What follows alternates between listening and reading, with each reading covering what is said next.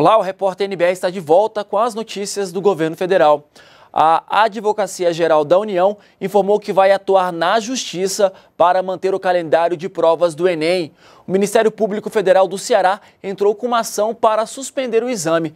Vamos então voltar a conversar com a repórter Mara Knupp, que está acompanhando esse assunto lá no Ministério da Educação. Olá, Mara.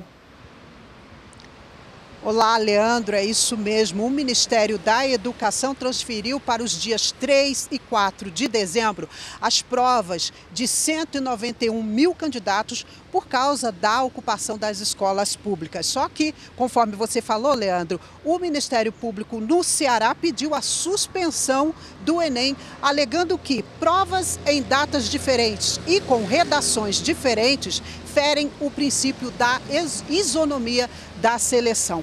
Porém, em nota, o Ministério da Educação diz que há grave, é, há grave equívoco na argumentação do Ministério Público no Ceará, porque, segundo o Ministério, todo ano o Enem realiza dois tipos de prova e, consequentemente, duas redações. E que as provas têm o mesmo princípio da equivalência, garantindo aí a igualdade de condições a todos os inscritos. O MEC ainda considerou lamentável qualquer tentativa que venha gerar insegurança e tumultuar um exame que afeta a vida de mais de 8 milhões e meio de estudantes. Lembrando que, conforme você falou, Leandro, a Advocacia Geral da União informou que vai atuar judicialmente para defender a manutenção do calendário das provas. Volto com você, Leandro. Obrigado, Mara. Vamos torcer para resolver logo esse assunto, que esse assunto se resolva logo. E o presidente Michel Temer faz hoje uma reunião com ministros e o tema será a situação das cidades de Minas Gerais que há um ano foram atingidas pelo rompimento da barragem de Fundão. O repórter João Pedro Neto está no Palácio do Planalto e traz as informações para a gente. Olá, João Pedro.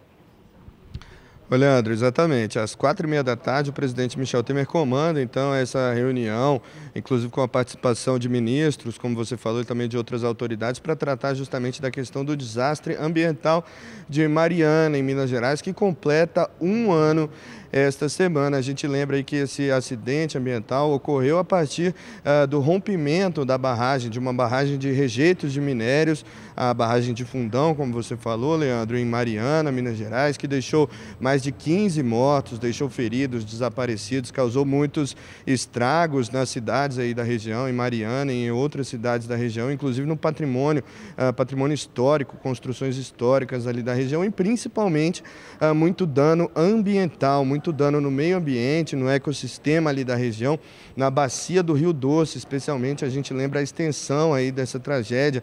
Ah, a lama de Mariana percorreu aí dois estados, mais de 600 quilômetros uh, pelo Rio Doce, chegando até o Oceano Atlântico e, portanto, esse desastre ambiental passou a ser considerado aí o maior da história do Brasil.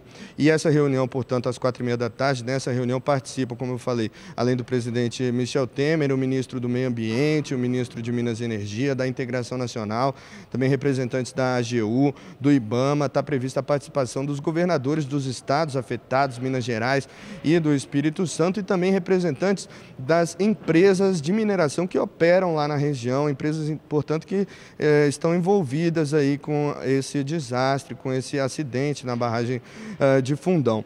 Vai ser a expectativa é que seja uma reunião de avaliação, uma reunião de balanço, aí agora que se completa, portanto, um ano uh, dessa, desse incidente, desse acidente, para ver aí possivelmente que medidas podem ser adotadas. Mas o governo federal segue tomando uh, medidas com relação a essa questão, desde o rompimento da barragem até agora. Mais recentemente, a gente pode destacar, o governo anunciou que vai uh, ajudar a implementar aí sistemas de alerta e sistemas de monitoramento contra desastres também uh, de prevenção, aí, especialmente uh, além de planos de contingência para atuação aí no caso de alguma ocorrência. Inclusive, técnicos da Defesa Civil Nacional estiveram lá na região de Mariana esta semana para ajudar as prefeituras aí é, nessa, especialmente no caso de alguma ocorrência, especialmente nesse período de chuvas, né? E esses técnicos eles também vão voltar aí à região na próxima semana para fazer exercícios práticos, inclusive com a participação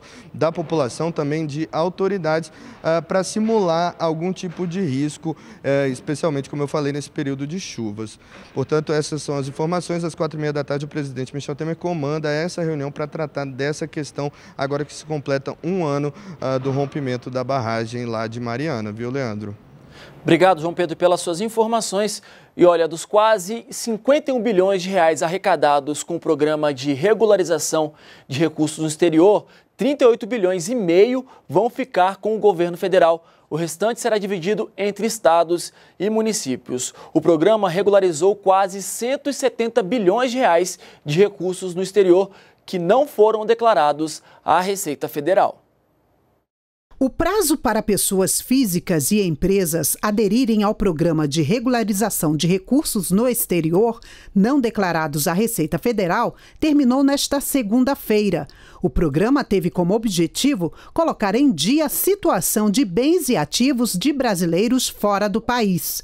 De acordo com a Receita Federal, aderiram ao programa 25 mil pessoas e 103 empresas. A regularização em ativos foi de quase 170 bilhões de reais e 50 bilhões de reais foram pagos em impostos e multas. Pelas regras, sobre o valor regularizado foi cobrada uma alíquota de 15% de imposto e de outros 15% de multa. Entendemos que foi um programa bem sucedido uh, ao longo de, desses 210 dias que nós oferecemos para os contribuintes aderirem. É uma declaração voluntária, é um programa voluntário.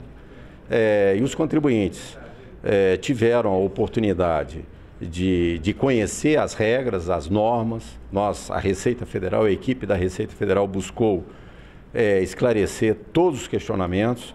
Além da instrução normativa, nós oferecemos um perguntas e respostas com 50 questões, além de oferecer um programa, uma solução tecnológica, é, como é característica da Receita Federal, uma solução tecnológica é, de declaração, a chamada Descartes, para o contribuinte poder aderir. Os contribuintes que não tenham aderido às condições de repatriação ainda podem regularizar os ativos, porém agora fora do programa. O contribuinte que aderiu ao RERT, ao Programa de Regularização de Ativos de, é, de Natureza Cambial e Tributária, ele, se ele apresentou a declaração, pagou o imposto e a multa, a, foi extinta a punibilidade em termos de crime contra a tributária, evasão de vias e lavagem de dinheiro consequente em relação a esses dois crimes antecedentes.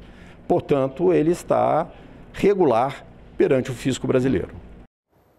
E nós ficamos por aqui. Voltamos a qualquer momento com outras informações ou ao meio-dia na próxima edição do Repórter NBR. Acompanhe também as novidades em nossas redes sociais.